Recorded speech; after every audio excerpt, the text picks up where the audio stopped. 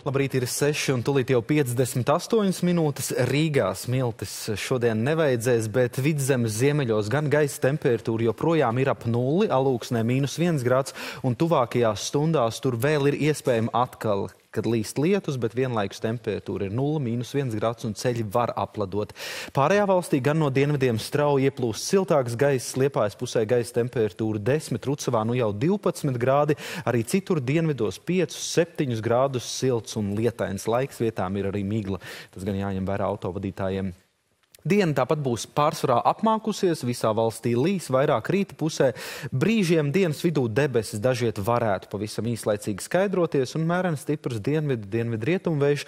Gaisa temperatūra pēcpusdienā Ziemeļvidzemē paaugstināsies līdz 5-6 grādiem, bet pārējā valstī 8-12 grādus silts laiks.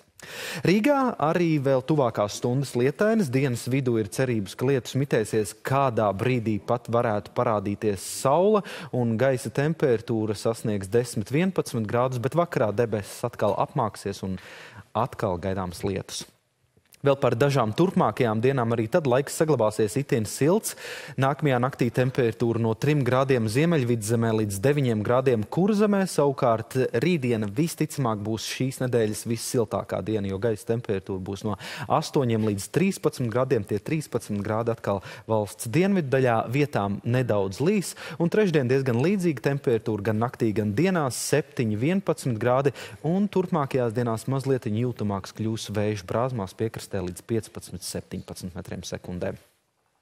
Pareizais laiks ir 6,59 minūtes.